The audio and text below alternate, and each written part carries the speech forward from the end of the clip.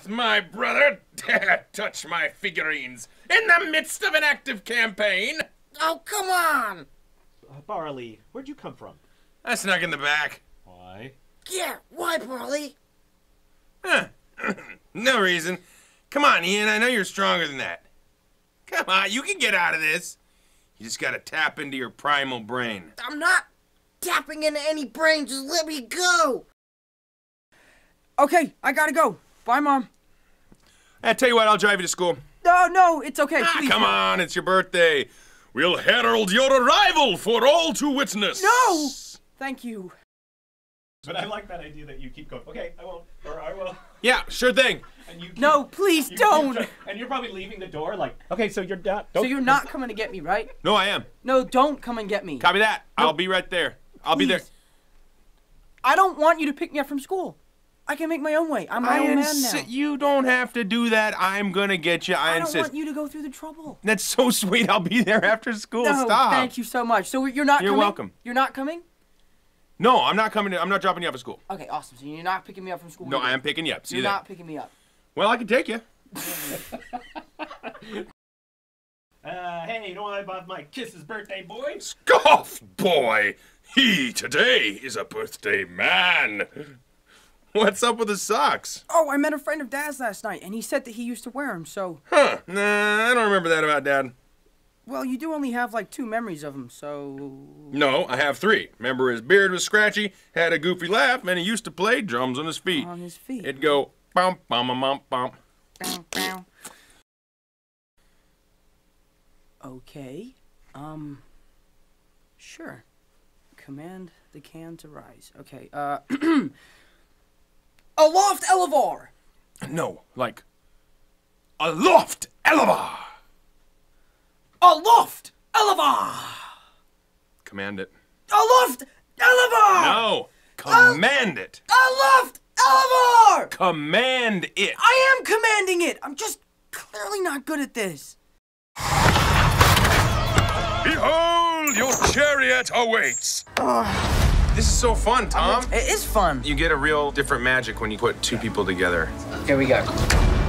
I can't get this levitation spell to work. Aloft Elevar! You have to speak from your heart's fire. Aloft elevar. Aloft Elevar! No, from your heart's fire. Aloft Elevar! Heart's fire. Thank you. Thank you. From the heart's fire. What did you do at work today? Tom and I just shouted Hot's Fire and Aloft Elevar at Yeah. each other. All right, all right, all right, all right, all right, all right. Listen, it's time to tell you all about Pixar's new movie. Onward. Okay, so it's about a family. It's about a quest. It's also about these two brothers. Right, two brothers. It takes place in a world that's a lot like ours, but with unicorns, elves, trolls, and Feisty sprites. Answer me when I'm talking to you. The brothers tried to use a magic spell to bring back their dad for just one day. But there's a catch. There's always a catch. they kind of messed up the spell. Ah, I definitely remember Dad having a top part. Yeah, that didn't go quite as planned. Now they're on a quest to fix the spell, bring back Dad, and save the day. It's pretty simple, right? I forgot to tell them about the cars! Well, you'll see. Oh no. Also, those unicorns. Shoo! Get out of here! They're real jerks, man. Yeah. I have something for you from your dad. This brings him back. Like back to life? The film Onward is a tale of two brothers trying to finally meet their father. I'm gonna meet dad. They perform this spell, which will hopefully bring their dad back. Hang on! It's a pretty great concept that has so much heart. Dad? Ah, there's no top part. And that's exactly what Pixar does so well. We've only got 24 hours to bring back the rest of Dad. When Chris got the role, he called Tom and said, I'm your brother. This is so fun, Tom. It is fun. The best part of the job was the fact that I got to do it with my buddy Chris. For any spell to work, you have to speak from your heart's fire. Oh, Aloft Elevar! Heart's fire. I love these two whippersnappers. And as the mother of two teenage boys, I have that in common with Laurel because that's been the joy of my life. Now take out the trash. Family is important. I'm looking for my sons. Oh, they went on a quest. But don't worry, I told them about the map, I told them about the gem, I told them about the curse. I forgot to tell them about the curse! The what? This definitely pulls at the heartstrings. I just want to meet you. That's why I love Pixar movies. You always walk away feeling like you've been a part of something real.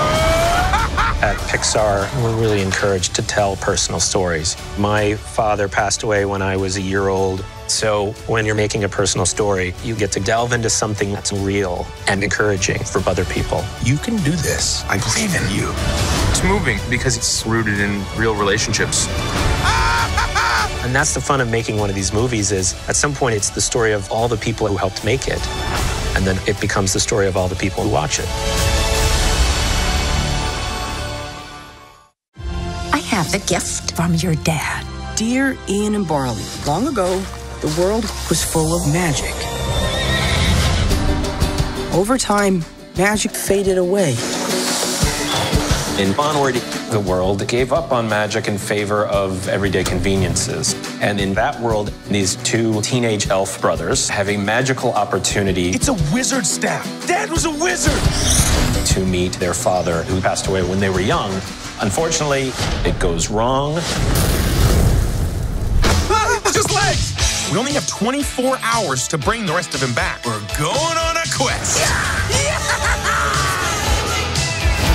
Ian Lightfoot is kind of, you know, like an awkward teenager who's trying to find himself. If you like parties, then um, I was gonna do a party.